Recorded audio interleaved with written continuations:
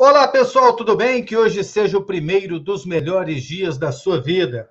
Estou chegando para falar sobre o clássico Vila Nova 2 a 1 no Goiás e também sobre a demissão do técnico Augusto César.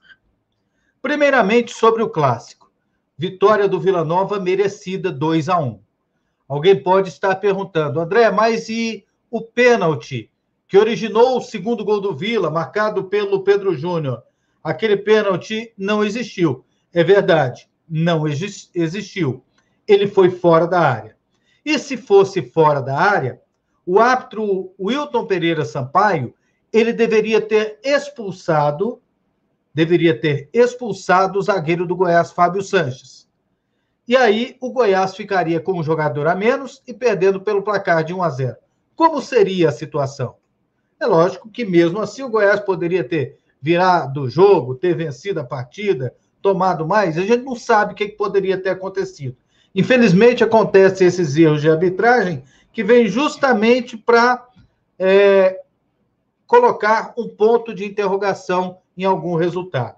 O que eu prefiro dizer é que o Vila Nova foi merecedor porque foi o time que buscou mais o gol, que foi o time que, apesar da limitação do jogo ter sido tecnicamente inferior, ter sido tecnicamente ruim, é, foi o time que demonstrou um pouquinho mais de organização.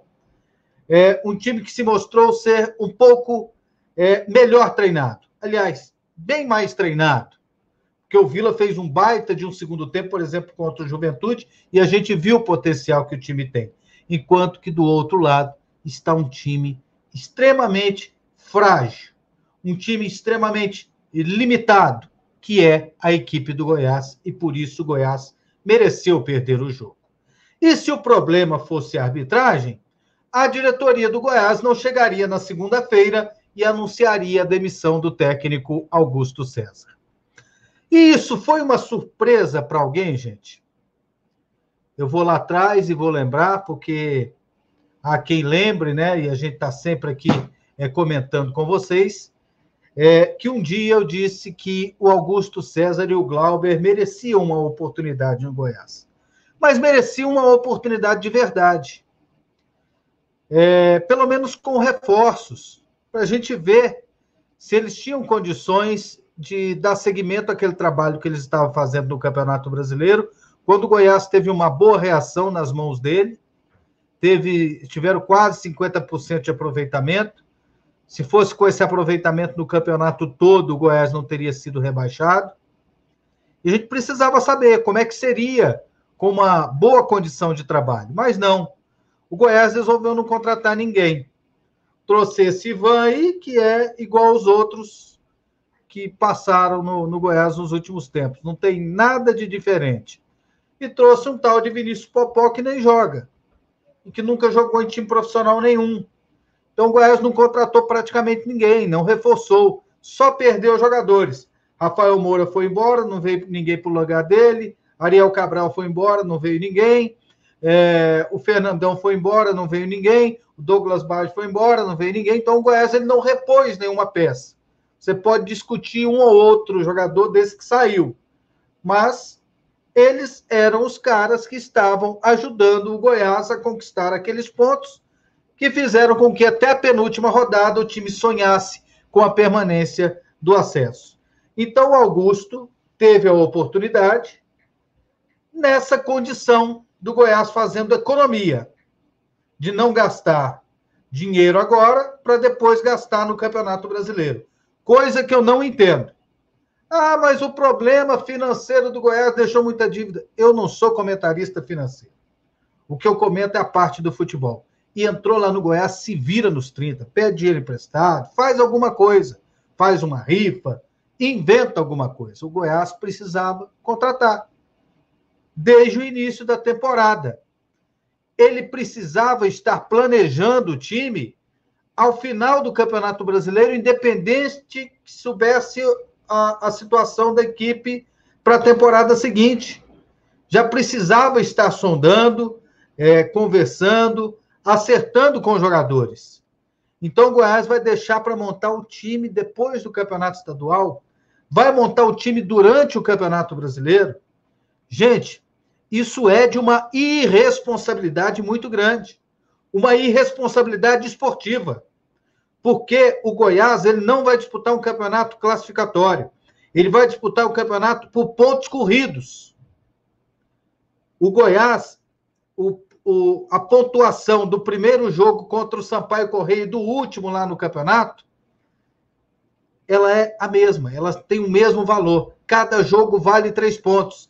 Então o Goiás vai disputar os seus primeiros três pontos do campeonato sem estar ajustado, vai se ajustar durante a competição. Então o Goiás que prometia uma nova gestão, um novo pensamento, ousadia, já começa o campeonato de uma forma amadora. O Goiás está brincando de fazer futebol, está fazendo futebol desafiando a lógica.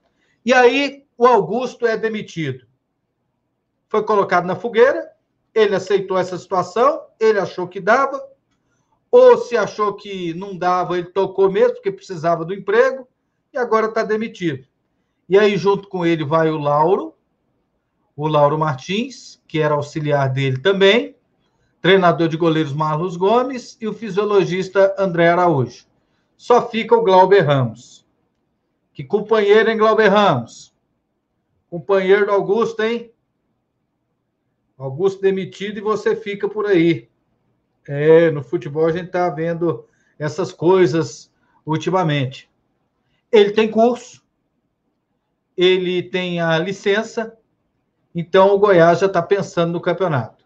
Vai contratar um treinador, porque não vai começar com o Glauber, porque se começar com o Glauber, queima a primeira inscrição.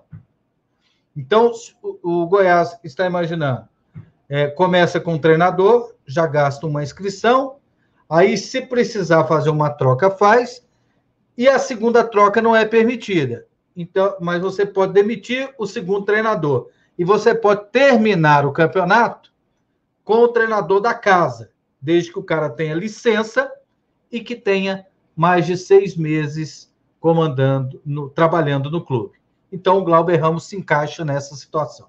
Lembrando que o Lauro também tem a licença, então o Goiás está dispensando aí um que tem a licença, está ficando com outro que tem a licença para trabalhar. E outro funcionário do Goiás que tem a licença é o Arley. Então, são dois funcionários do clube hoje que têm licença para treinador. Mas é claro, o Glauber passa a ser uma tal de comissão técnica permanente na equipe do Goiás. Então, o Glauber pensou mais nessa estabilidade de ser o auxiliar permanente do time esmeraldino. Então ele, ele continua.